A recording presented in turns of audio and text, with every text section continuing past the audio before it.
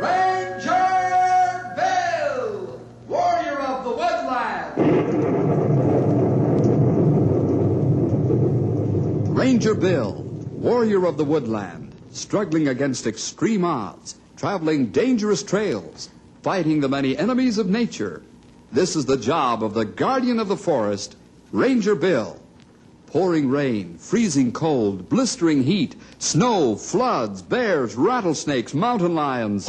Yes, all this in exchange for the satisfaction and pride of a job well done.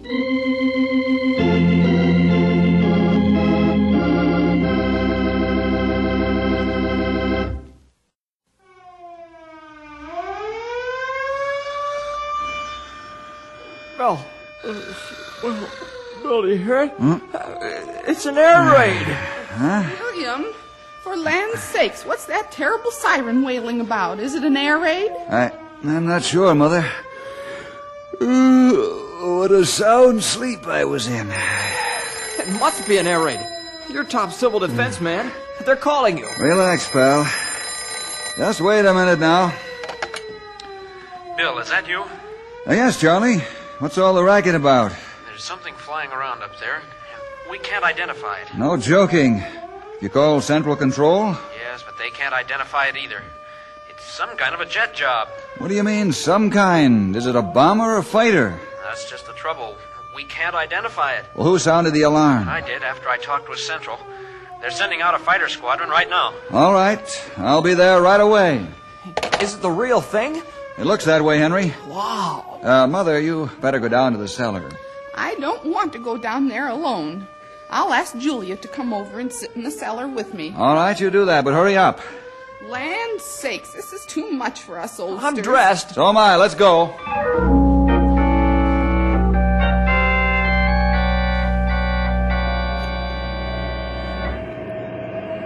Leader to group. Close up. Close up. Yellow one to leader. Is this the real thing, Major? Yeah, sounds like it, Cliff. Leader to group. Test your guns. Test your guns.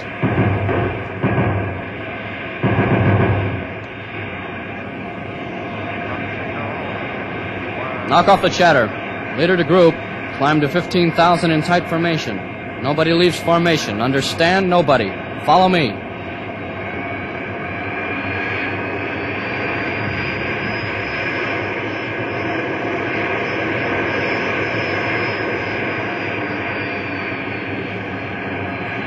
Five minutes to target area. Leader to group. Jones, Patch, Rosach, follow me in for a look. Cliff, you and the rest of the boys hang around up here and keep your eyes open. Roger. Four minutes to target. Get ready and watch my signal.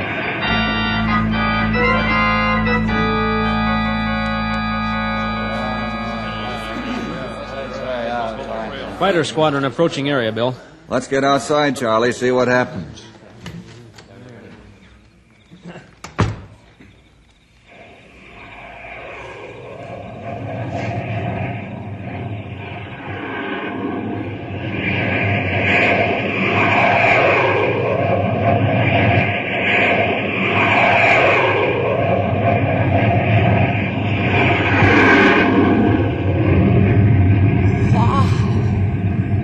Leader. Hello, yellow leader. This is Ranger One. Ranger 1, this is Yellow Leader. Have you seen it? Not yet, Ranger 1. What's it look like? That's the problem, yellow leader. We don't know. We can't help you. That's okay. Yellow one to leader. Look behind you, Major. There's something coming after you like it was shot out of a wind tunnel.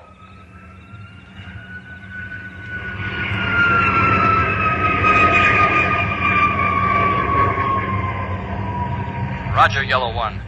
Ranger One to yellow leader. It just passed overhead and right after you. We couldn't identify it going too fast. I see it, Ranger 1.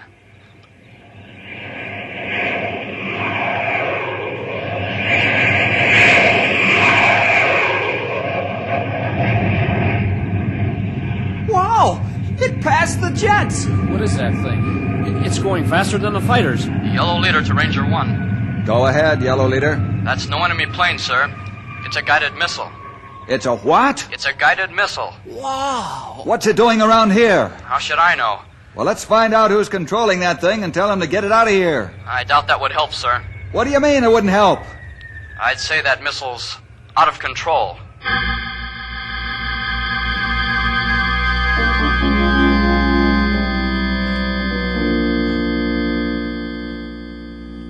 Now you know the problem that faced the citizens of Knotty Pine and the surrounding area, including the Shady River Valley and almost down to Junction City. Charlie did the right thing by sounding the air raid alert, and now I had the problem of getting rid of that thing flying around up there. As defense chief for the area, I was on the well known spot. How do you get a runaway missile to land without tearing up or blowing up the countryside? I like to call this incident after the man who discovered it Charlie's Nightmare. Well, Sonny, now that we're all out of bed and waiting for that flying thingamajig to roost somewhere, what are you going to do? Yeah, that missile must be a whopper. I can't wait till it gets light enough to see it better. Ranger 1 to Yellow Leader. Yellow leader to Ranger 1. What are your plans, Major? I'm waiting up here for orders, sir. That is until our fuel gets too low and then we'll have to go back. Of course. Have you any suggestions? Only one, sir. Yes? Let me shoot it down with my cannon. No, don't do that. There's millions of dollars of virgin timber here, to say nothing about the town and ranches. Seems to be making a circle. So far, it's not causing any trouble. Where'd it come from, do you suppose? I wouldn't have the slightest idea, sir. It may have come in from the coast. Ah, perhaps. Proceed to your base and wait for further orders. Yes, sir. Thanks for your help. You're welcome. I'm sorry we can't do more right now. Yellow leader to group. Make tight formation at 10,000 and head for home.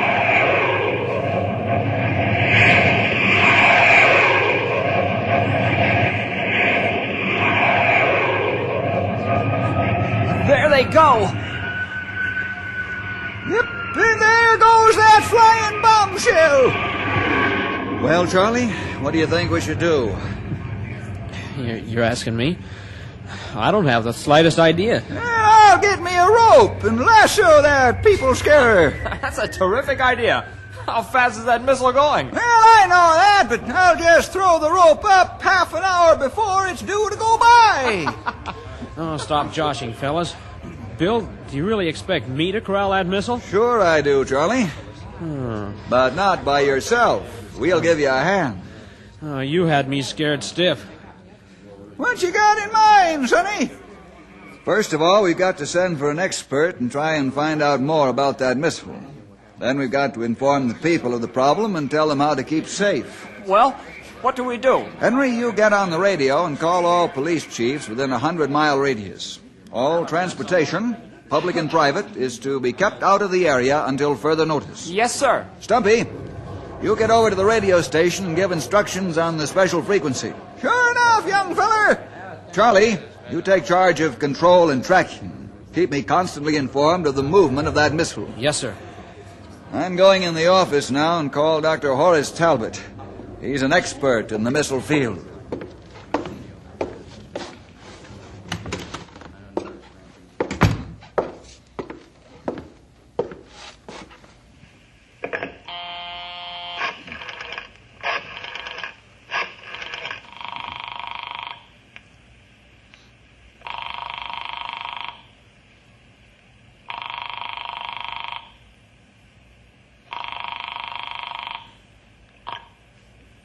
This is Dr. Talbot. Uh, Bill Jefferson, Horace. I'm packed and waiting for orders. Huh? Well, how did you know that? The news travels fast, Bill. I'll be there within an hour. All right, I'll be waiting for you.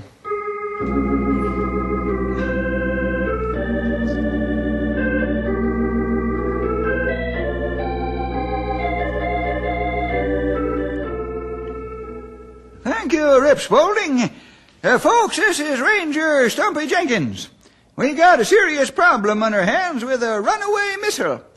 Its mechanical brain ain't working. We're going to have to figure some way to get it down without busting up everything and everybody. Now, the best thing for you to do is stay home and in the cellar until this is over. Keep calm and use your head. Don't panic. If you lose your head, you might lose your life.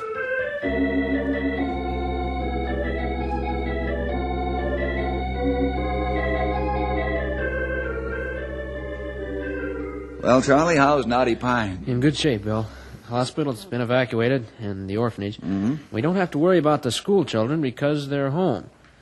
Area wardens are reporting everyone's under cover and acting calmly. Mm-hmm. Hospital's been set up in the cave for casualties, and firefighters and police are standing by for orders. All right, tell everyone to sit tight until they get word from me. Yes, sir. Oh, one more thing. Mm-hmm. Tell all hands they're not to move about in the open. If the missile decides to come down, there is nothing anyone can do to stop it. Yes, sir. Doc Talbot's here. Hello, Bill. Oh, hello, Horace. Thanks for coming. Forget it. The pleasure's mine. Where's the enemy roosting? I'd say about 5,000 feet. And it circles overhead every six minutes. Do you know what its range is right now? No, but I've blocked off an area of a hundred mile square radius. How long before daylight? Three hours. Oh, that's bad. I'll say it is. Now, what do you got in mind? Well, I want to make a positive identification as quickly as possible so we know what we're up against. How about asking Washington for permission to use a sunlight arc flare, huh? No, I'm afraid that might cause more panic than the missile. No, I don't think so. We can have the jet boy shoot it down when we're finished. Doesn't have to burn itself out. Yes, but that might cause a forest fire. Let me worry about that, huh? Okay, you're the doctor. Where can we observe the missile? It's best from a ridge at the east end of town. Let's go. Good. I'll radio for permission.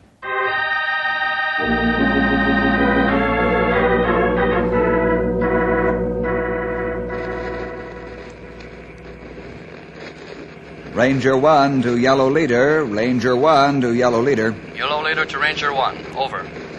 I have permission for you to drop one sunlight arc flare over Knotty Pine so Dr. Talbot can identify the missile. When will you leave? Right away. Over and out. You're worried about the fuel supply, aren't you, Horace? Yes, and so are you. And how I am. I don't want that baby coming down on my nice old virgin timber, or down the main drag of town, or anywhere near people. You know, this is a crazy deal. Hmm? What do you mean? Well, there's supposed to be a safety device in that thing so it can be exploded if it goes berserk. Apparently, that isn't working either. Well, what is working with that machine, Horace? Well, the engine is, so far.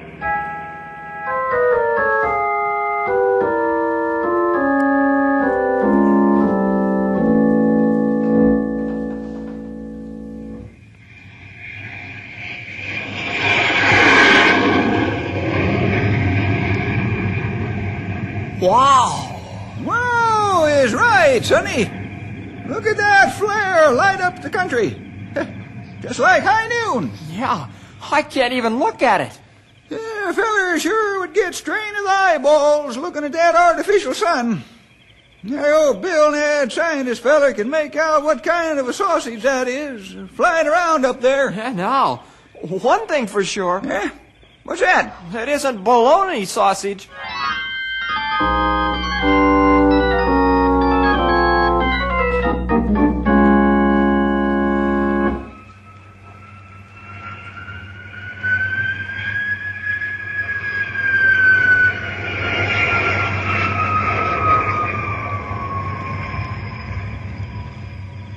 It goes, Horace.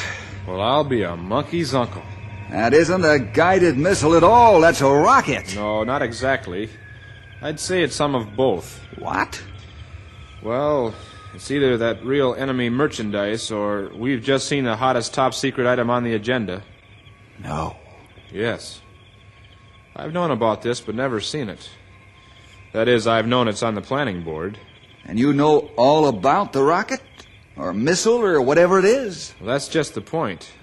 I don't know about it, but I know who does. Well, let's get a hold of him then. It's not a him, it's a her. Uh, it is? You know, pretty soon you're going to have me so balled up I'll think I'm flying around up there.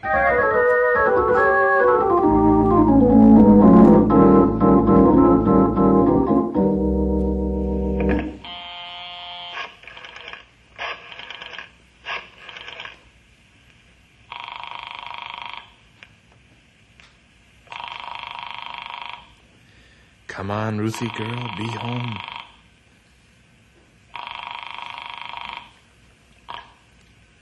This is Miss Carter. Ruth, Horace. Horace, this is a surprise. Yes, but this is business.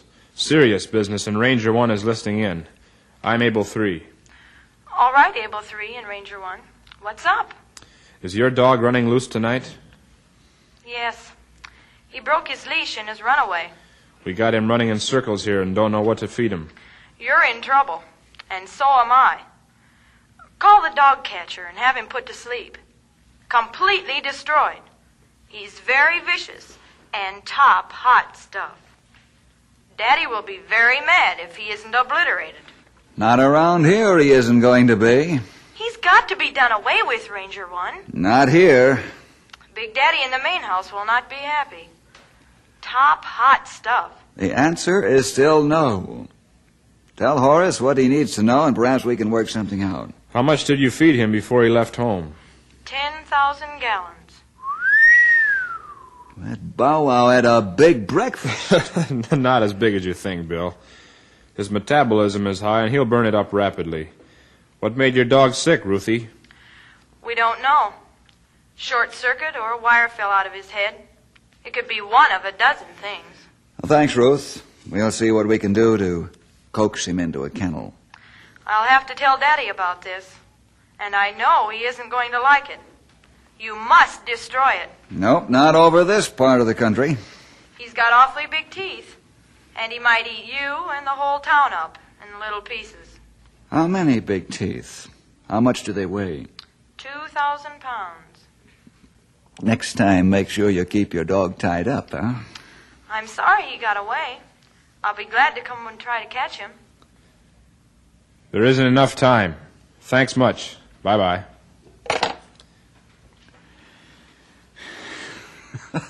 What's so funny? I don't see anything to laugh about.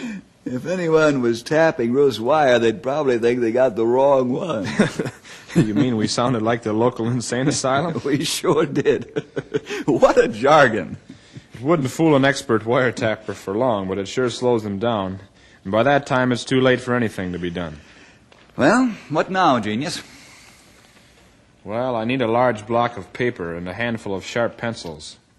We'll wrestle around some higher calculus and trig and see what we come up with. We don't want something to go up with. Give us something to bring that hot potato down with so we won't go up with it.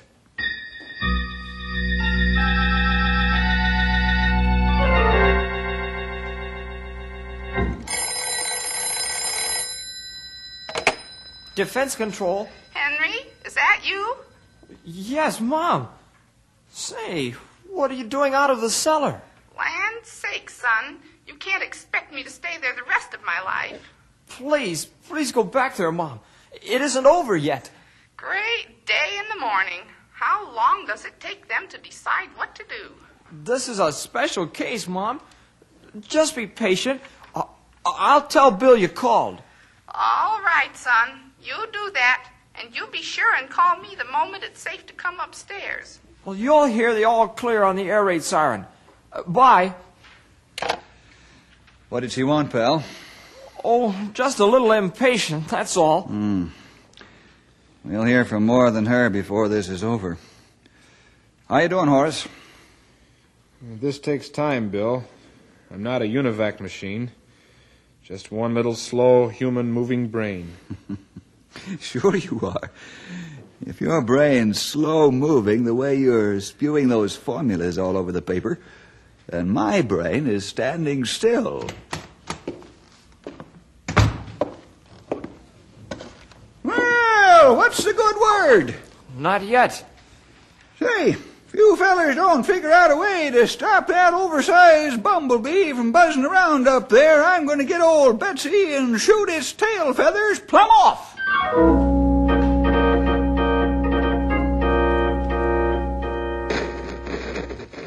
Ranger 1 to Yellow Leader, over. Yellow leader to Ranger 1. Go ahead. You can shoot out the arc flare now, and then go home. Yes, sir. Will do.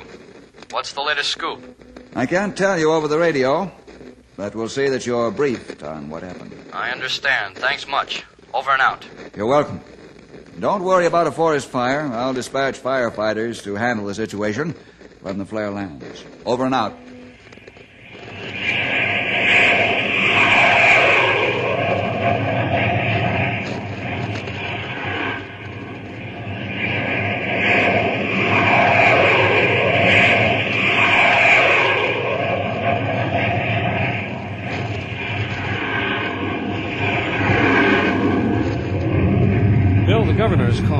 Calling. Wants that missile brought down at once. Tell the governor we're making every attempt to do that, Charlie, without blowing up half the county. Yes, sir.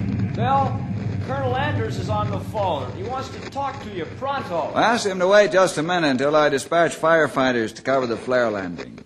You said it, Sonny. The thing will be hotter than a pot-bellied stove on a cold night. Ranger 1 to Tower 3. Ranger 1 to Tower 3. Tower 3, by. Dispatch your ground crews to cover arc flare landing. It will be intensely hot. Acknowledge. I understand your orders. We'll dispatch ground crew at once. Over and out.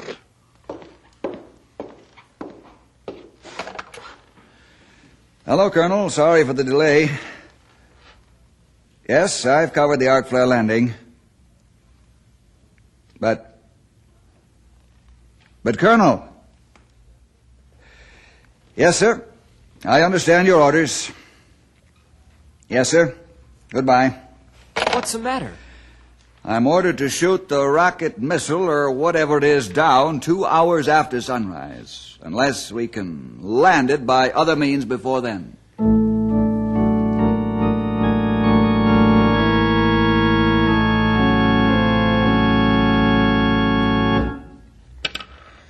Ah, that's done.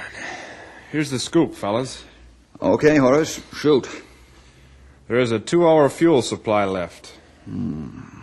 That means she'll run out half an hour before the deadline. Right. Now, I calculate that if it holds its present course, it'll land right in the center of town. What? In the center of town? With 2,000 pounds of high explosive? Why, Knotty Pine will be only a spot on the ground after that. You mean a hole in the ground, don't you, Sonny? That's what he means, all right. We'd better get the town evacuated right away. Not only right away, Charlie, but in an hour. Everybody must be out within an hour. I'll get the ball rolling double time. I only hope we can do it. Tell the evacuation team it has to be done. So we'll have half an hour safety margin in case that thing decides to land sooner. The governor wants to know when the rocket's coming down. Washington wants to know how soon you're going to shoot that missile out of the air. Yellow leader's arming his jets with air-to-air missiles to blow that contraption clean to the moon. The railroad's asking when they can move. They've got hundreds of unhappy passengers chafing at the delay, and three freight trains full of perishable goods waiting to roll. Truckers are calling in. They're mad because they can't move into town. Everybody wants to know when this is going to be over.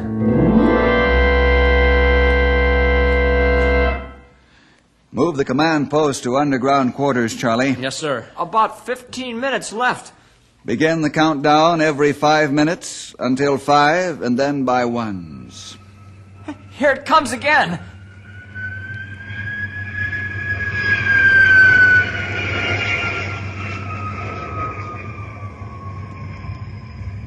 She's beginning to gasp for fuel, losing altitude and speed.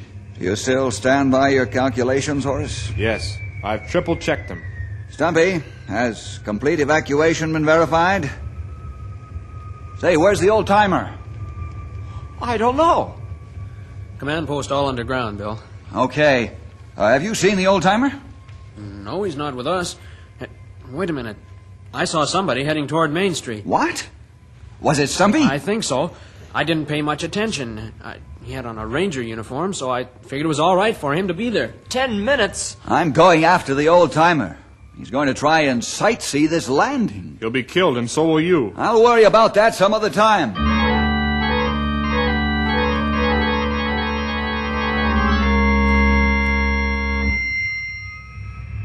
I told you fellas to stay back. I've faced worse than this with you before. It's too late now. Look at it. Hit the deck. She isn't going around once more. Here it comes.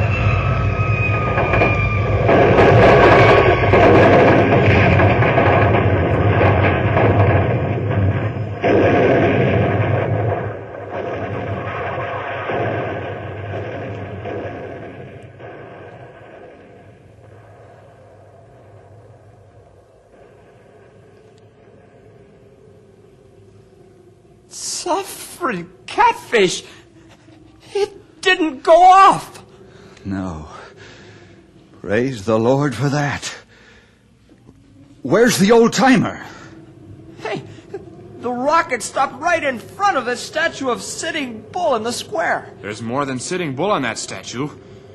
It looks like a man. Yes, and I think I know who that man is. Sitting Bull's brother, Foolish Bull, or commonly known as Stumpy Jenkins.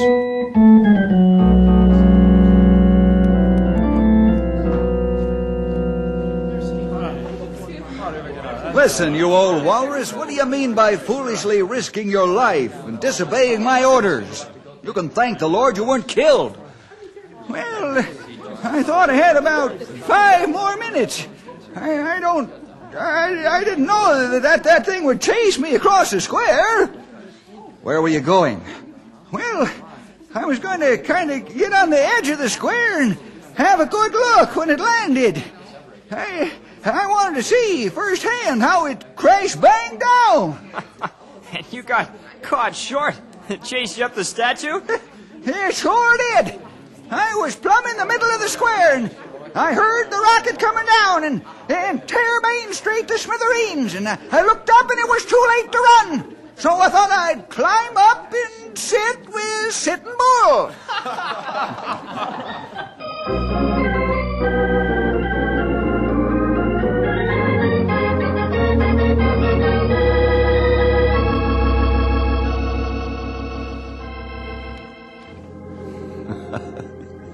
It's funny now, but it wasn't then. And how fortunate we were that the warhead, loaded with explosives, didn't go off.